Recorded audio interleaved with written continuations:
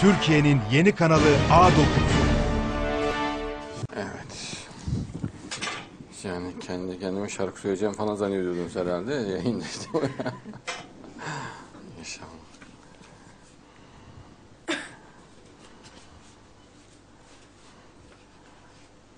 Çok güzel maşallah kardeşlerimiz sevginin üstüne çok duruyorlar. En hayati konudur. Allah'ı sevmek, Allah için insanları sevmek. İnşallah bayağı güzel.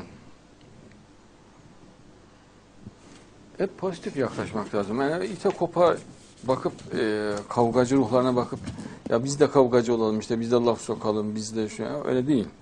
Onlar şeytanın etkisinde olan aptal ruhlar, karanlık pis ruhlardır onlar. Normal insan ruhu sevgi doludur. Böyle sevmekten, sevilmekten hoşlanır. Dostane, arkadaşçı ortamdan hoşlanır. Samimiyetten hoşlanır. Allah öyle güzel bir ortam yaratmış ki yani böyle ortalığı yaratıyor biraz. E, gaflet gözüyle bakan için. Çat düşer adam. İman gözüyle bakan için de çok açıktır. Gayet net, berrak bir iman denizi vardır. Onun içerisinde coşkuyla ilerler ve hiç önüne de engel çıkmaz. Bayağı başarılı olur. Güzel ama zamanı kullanır Allah. Zaman. Zamana insanlar sabredemiyorlar. Sabredip zamanı iyi kullanmak lazım. Onun dışında hayat çok güzeldir. Akıllı bakanı. Allah sürekli güzelleştirir hayatı.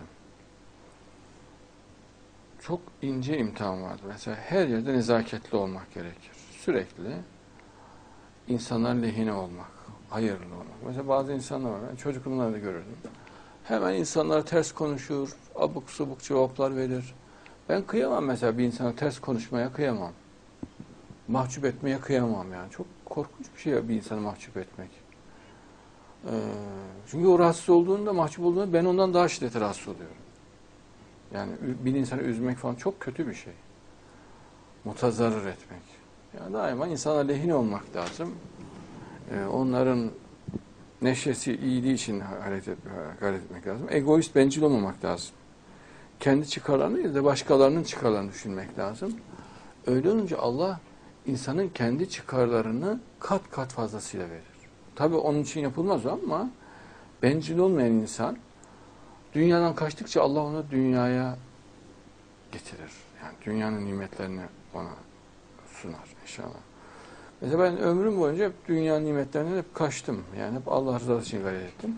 Ama Allah beni hep nimete boğdu maşallah.